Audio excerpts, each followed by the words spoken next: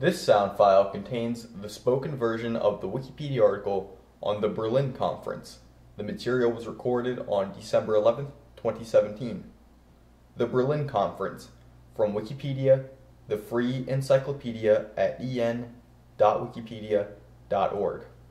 The Berlin Conference of 1884-1885, also known as the Congo Conference or West Africa Conference, regulated European colonization and trade in Africa during the new imperialism period and coincided with Germany's sudden emergence as an imperial power. The conference was organized by Otto von Bismarck, first Chancellor of Germany. Its outcome, the General Act of the Berlin Conference, can be seen as the formalization of the scramble for Africa.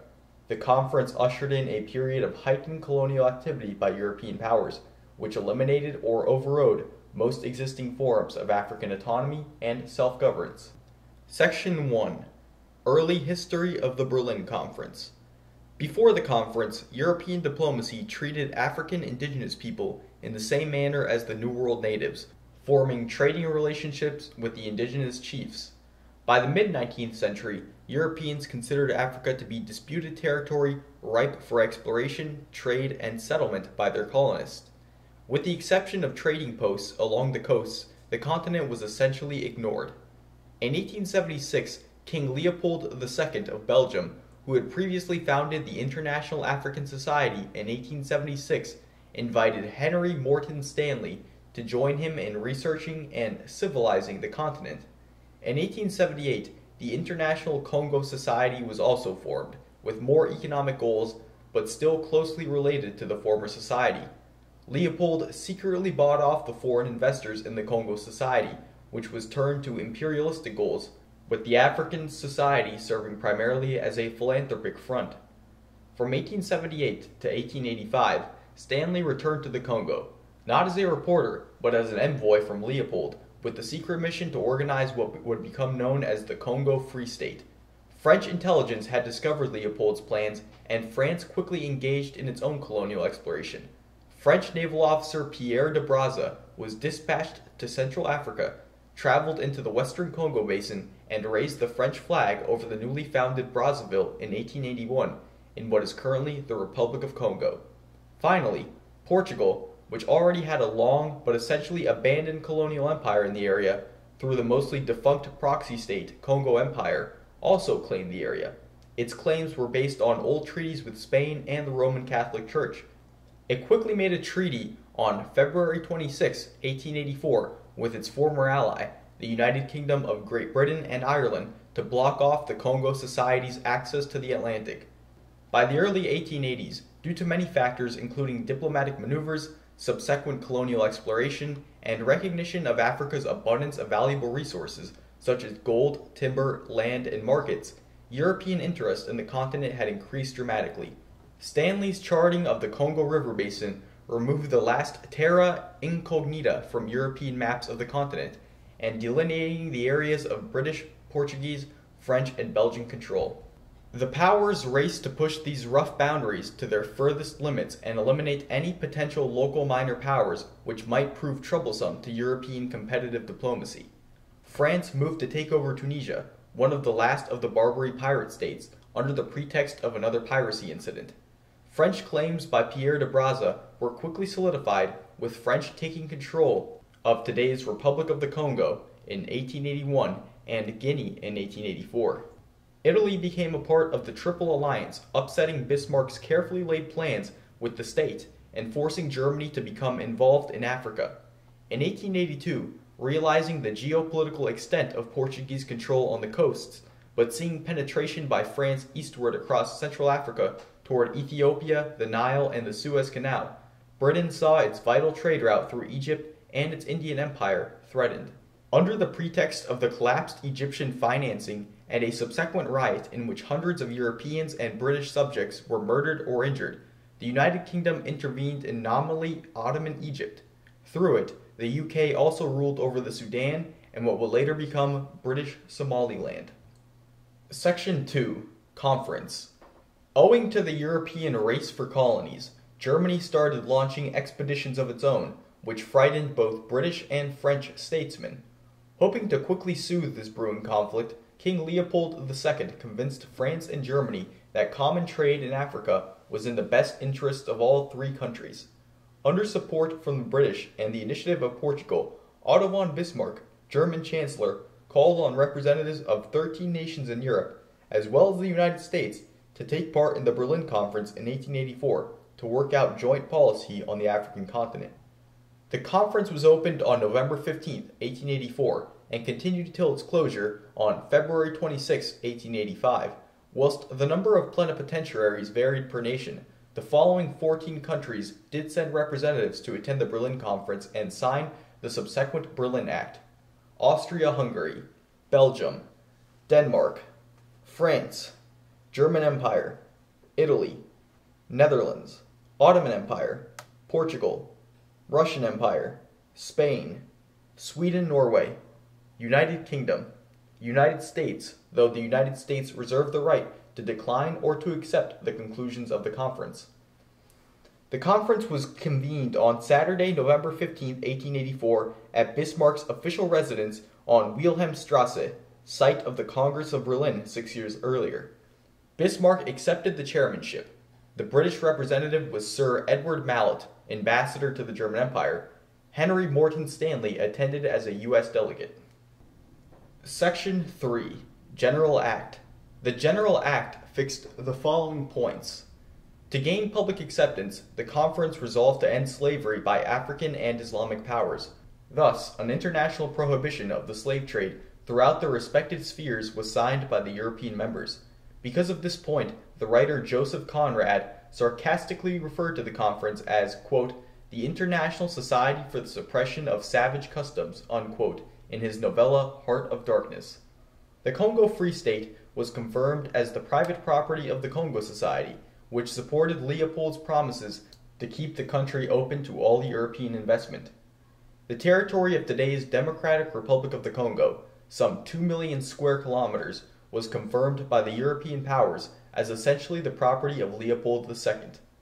The 14 signatory powers would have free trade throughout the Congo Basin, as well as Lake Malawi, and east of this in an area south of 5 degrees north. The Niger and Congo rivers were made free for ship traffic. A principle of effectivity, based on, quote, effective occupation, unquote, see below, was introduced to stop powers setting up colonies in name only. Any fresh act of taking possession of any portion of the African coast would have to be notified by the power taking possession, or assuming a protectorate, to the other signatory powers. Definitions of regions in which each European power had an exclusive right to, quote, pursue, unquote, the legal ownership of land, legal in the eyes of the other European powers. The first reference in an international act to the obligations attaching to, quote, spheres of influence, unquote, is contained in the Berlin Act. Principle of Effective Occupation The principle of effective occupation stated that powers could acquire rights over colonial lands only if they possessed them or had, quote, effective occupation, unquote. In other words, if they had treaties with local leaders, if they flew their flag there, and if they established an administration in the territory to govern it with a police force to keep order. The colonial power could also make use of the colony economically this principle became important not only as a basis for the European powers to acquire territorial sovereignty in Africa, but also for determining the limits of their respective overseas possessions, as effective occupation served in some instances as a criterion for settling disputes over the boundaries between colonies. But as the Berlin Act was limited in its scope to the lands that fronted on the African coast, European powers in numerous instances later claimed rights over lands in the interior without demonstrating the requirement of effective occupation, as articulated in Article 35 of the Final Act.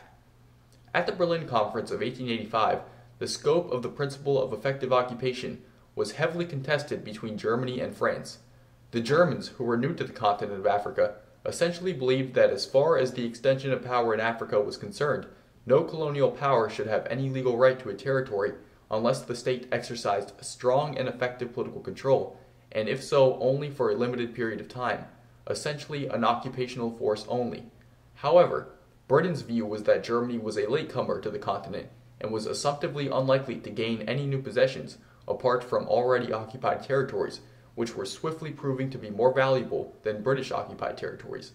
Given that logic, it was generally assumed by Britain and France that Germany had an interest in embarrassing the other European powers on the continent and forcing them to give up their possessions if they could not muster a strong political presence.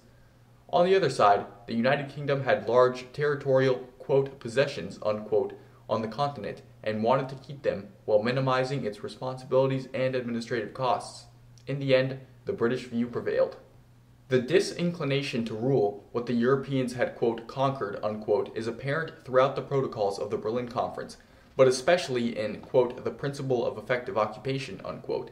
In line with Germany and Britain's opposing views, the powers finally agreed that this could be established by a European power, establishing some kind of base on the coast from which it was free to expand into the interior.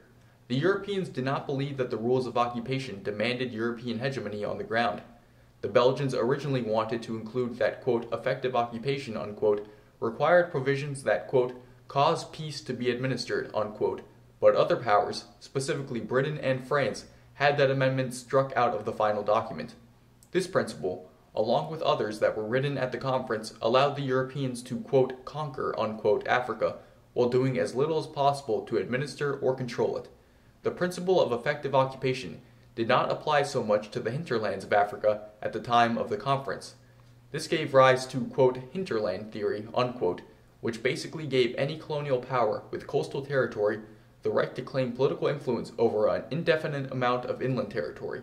Since Africa was irregularly shaped, this theory caused problems and was later rejected.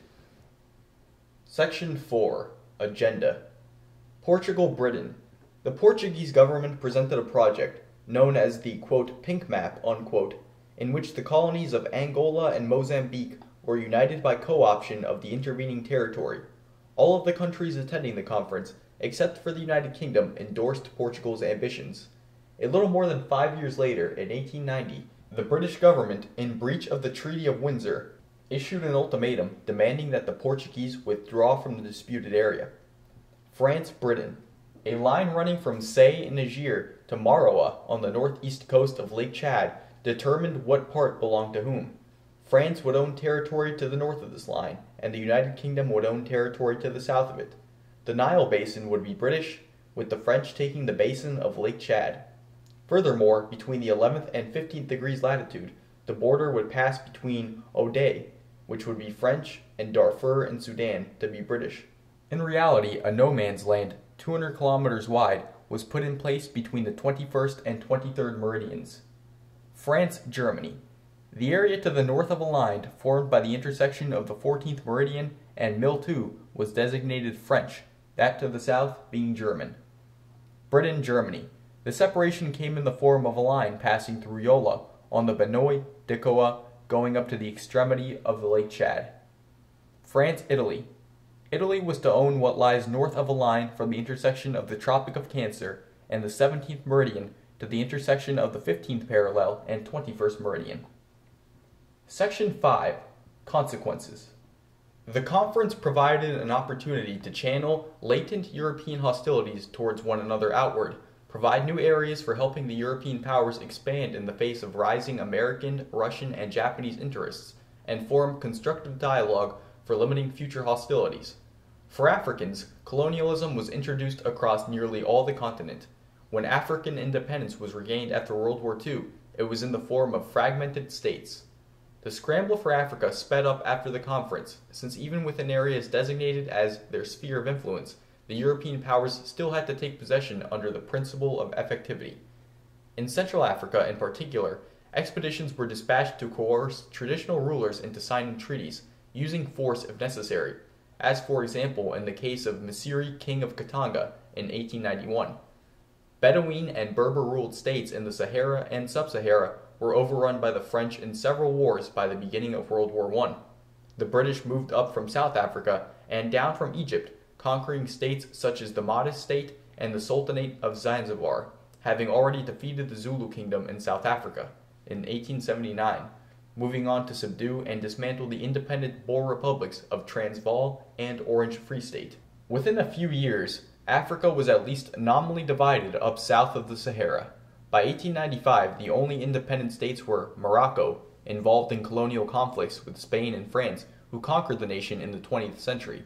Liberia, founded with the support of the United States for returned slaves. Ethiopian Empire, the only free native state which fended off Italian invasion from Eritrea in what is known as the First Italo Abyssinian War of 1889 1896, but was later defeated in 1936 during the Second Italo Ethiopian War. Majeerteen Sultanate, founded in the early 18th century, it was annexed by Italy in the 20th century.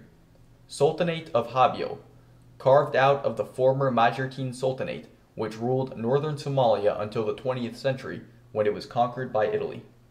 The following states lost their independence to the British Empire roughly a decade after Orange Free State, a Boer republic founded by Dutch settlers. South African Republic, Transvaal, also a Boer republic. By 1902, 90% of all the land that makes up Africa was under European control. The large part of the Sahara was French, while after the quelling of the Mahdi rebellion and the ending of the Fashoda crisis, the Sudan remained firmly under joint British Egyptian rulership with Egypt being under British occupation before becoming a British protectorate in 1914. The Boer republics were conquered by the United Kingdom in the Boer War from 1899 to 1902. Morocco was divided between the French and Spanish in 1911, and Libya was conquered by Italy in 1912. The official British annexation of Egypt in 1914 ended the colonial division of Africa. This sound file and all text in the article are licensed under the Creative Commons Attribution Share Alike 3.0 unported license. Available at http colon forward slash forward slash creativecommons.org forward slash licenses forward slash by dash sa forward slash 3.0.